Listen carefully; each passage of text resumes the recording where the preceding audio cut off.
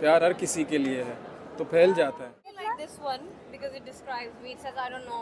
ऐसा समा है हम तुम यहाँ है। मेहनत का सिला कभी ज़ाया नहीं जाता बस आपको उठ के काम करना होता है। ये आपका कान शाहनवाज को अगर मेरी ज़िंदगी का फ्लैशबैक देखना है पिछले साल का तो सीट की पेटी बाँध लें। International collaborations, hopefully, you know, in the American scene, maybe even in the Indian scene. तेरे उत्ते पीला रंग सूट करदा पर्दे में रहने दे जो है छुपा रे बलमा।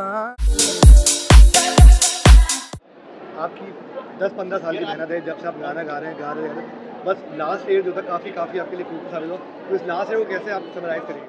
बहुत इंजॉयमेंट से मैं ये बताऊँगा कि उस वक्त भी एक्सपीरियंस मेरा डिफरेंट था।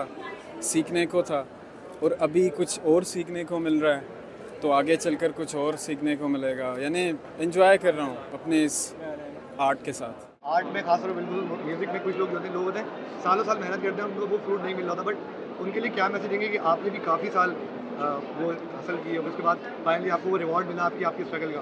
तो उनके लिए क्या मैसेज मैसेज तो उनके लिए ये सबके लिए मेरा यही होगा कि यही है कि प्यार करें प्यार से आर्ट बनता है और प्यार हर किसी के लिए है तो फैल जाता है। ये बस ये करना होता है। कहानी सुनो को जो है वो 2016 से पुराना गाना था बट लास्ट ईयर पूरी वर्ल्ड में जो है वो रिकग्नाइज हुआ। आप बाहर भी गए यूथ भी किया तो उस उसकी सक्सेस को कैसे रेट करते हैं ये तो मेरे सुनने वाले बताएँगे। उनके लिए बहुत ये जो मैंने लिखा है जो मुझसे रिलेट करके उन तक जाता है तो ये एक ऐसा रिश्ता है कि एक्सप्लेन नहीं कर सकते। और थोड़ा सा गाऊं? थोड़ा ज़्यादा गा लीजिए नहीं मुश्किल वफा, जरा देखो यहाँ। तेरी आँखों में बसता है मेरा जहाँ। सदाएँ सुनो हो, जफाएँ सुनो, मुझे प्यार हुआ था, इकरार हुआ था। मज़ा आया टू बी वेरी ऑनेस्ट मुझे मज़ा आया क्योंकि मैं आराम से उठी, आराम से तैयार हुई, ठीक है ना? There was no rush otherwise when you performing it's lot of pressure nervousness all together so I think this year I am just sit down and watch I am super excited to see Young Stunners performance obviously Faisal का बॉडियर्स performance and I am I am just excited to see the whole event जी तो चले आपदा जी आपदा जी का कोई मुकाबला नहीं है सो आपदा जी ऑल द वे तो आई थिंक सबको पता है बेस्ट सॉन्ग तो बसूरी है।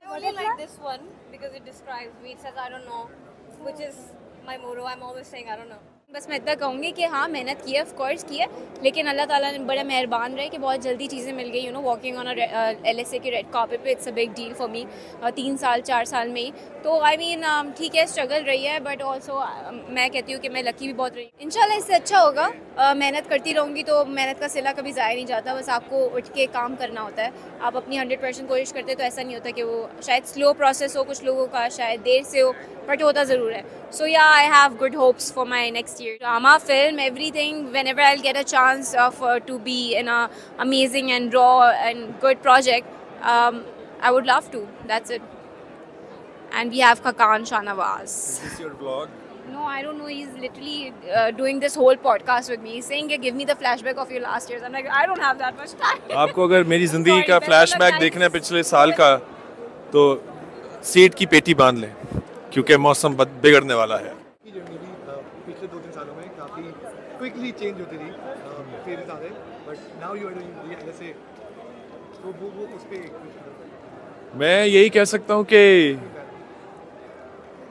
मेहनत करो। अल्लाह ताला देख रहा है वो आपको देंगे अगर आप दिल से और ईमानदारी से मेहनत करेंगे काम करेंगे तो you will get what you deserve sir formula कोई भी नहीं था it's just you know being true to the art And just you know constantly producing music and believing believing in what you do and uh, believing in the idea that you can do and you can achieve a lot without a lot of support from you know big labels and big brands and you know organizations अपने own पे चीज़ें कर सकते हो और इस believe की वजह से आई थिंक ये चीज़ें यहाँ तक पहुँची work ethic and discipline I think that's the key to success. Um, as long as you're disciplined and you believe in your work, then I think you can achieve. your nomination in this young age.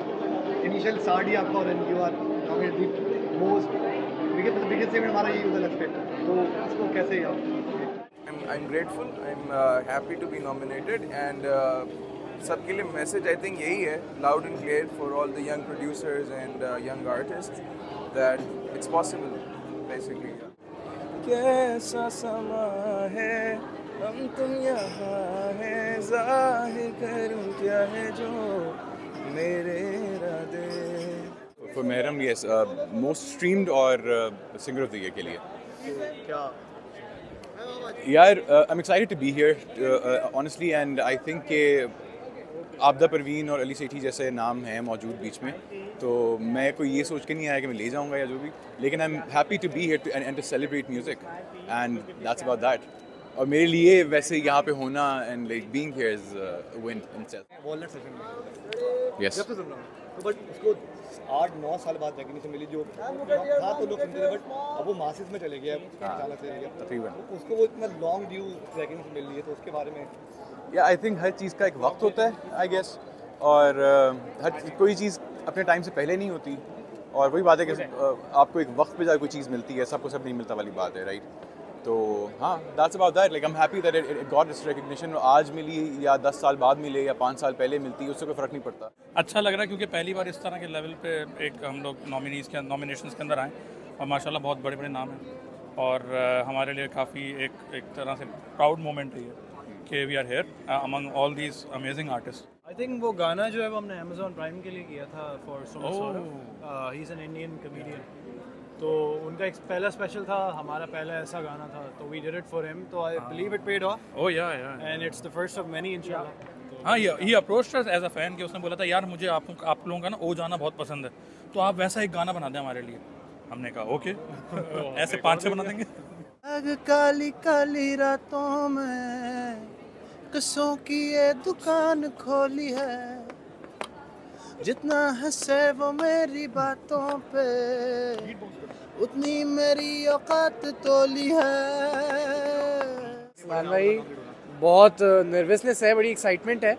Let's see गाने पे बड़ी मेहनत की थी हमने but जो बाकी लोग नॉमिनेटेड है साथ वो मैं, मैं उनका फ़ैन हूँ तो वो भी जीत जाए तो मैं बहुत खुश हूँ। गाना भी कर रहे हो एक्टिंग भी कर रहे हो। म्यूज़िक प्रोडक्शन भी कर रहे हो? बिल्कुल। और क्या क्या कर बस डांस सीख रहा हूँ अपने भाई से भी। नहीं अभी एक्टिंग की तरफ़ ही है ज़रा थोड़ा ज़्यादा इस साल इंशाल्लाह। रिकग्निशन मिली बट सर थोड़ा अनफॉर्चुनेट रहा कि सिनेमा बंदी नहीं बिल्कुल, बिल्कुल। टिकट ढूँढने का टिकट नहीं मिलेगा। बिल्कुल। दो दो तीन दफ़ा ट्राई बिल्कुल। तो क्या इस, इसको थोड़ा डिसअपॉइंटेड आई थिंक एम कभी भी ना मूवी का था नहीं ये कि वो एक बॉक्स ऑफ़िस सक्सेस हो। वो था कि जितने लोग देखें उनके दिल में बस जाए। But we working on some stuff I think hopefully it will land किसी इस तरह की जगह जहाँ सब देख लेंगे इनशाला उस पर हमारा काम चल रहा है। सोशल मीडिया में काफ़ी बैकलेश मिलता है और बहुत बहुत है। बिल्कुल। उसको उसको काउंटर करने के लिए। काउंटर करने के लिए all you can do is just work harder और आप बेहतर करें काम देखें। लोगों के लिए कर रहे हैं ना काम तो वो बुराई कर रहे हैं तो दैट्स देयर ओपिनियन आप बस इस पर तप नहीं सकते उनका ओपिनियन है। आप बस अपने काम को बेहतर करें एंड होप करें कि वो हेटर्स जो हैं वो स्लोली स्लोली आपका काम पसंद करें। तेरे उत्ते पीला रंग सूट कर दा पर्दे में रहने दे जो है छुपा रे बलमा आए और छा गए तो इसके पीछे जो हिस्ट्री थी पूरी।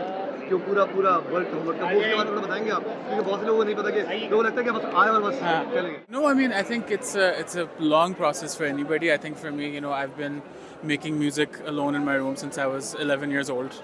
और तब से बस चलता आ रहा है and you know like I mean even in industry I think मुझे अब छः सात साल तो हो गए हैं you know but it's sort of it's it's a slow burn and you kind of just take whatever opportunities you can get and I just uh, you know at the end of the day just want to keep making the work and it's really nice sometimes when you kind of get recognized and uh, you know you get to celebrate everything traditional music होता है जब pop rock होता है उससे क्या? थोड़ा beating type या दूसरी इलेक्ट्रिक है तो उसके बारे में बताएंगे वो कैसे इंस्पिरेशन आती है आपको या उस- और करंट म्यूजिक इंडस्ट्री में उसकी उसका स्टैंड क्या है I think uh, I mean it comes from the kind of music that I grew up listening to क्योंकि मैं you know I was never really big on rock when I was very young and uh, so I would listen to sort of American top 40 experimental music and uh, so I think what I just wanted more than anything was to be able to put that sound into this industry, into this scene, and you know, kind of introduce people to that. And I think uh, I was really lucky because around the time that I was coming up, a bunch of other artists my age were also doing the same thing.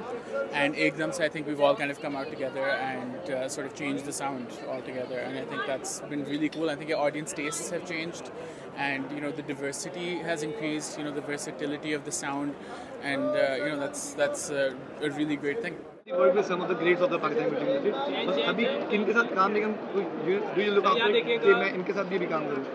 Good question. You know, honestly, now I think I'm looking to kind of cross borders and look at, you know, international collaborations, hopefully, you know, in the American scene, maybe even in the Indian scene, you know, see like, you know, what is out there.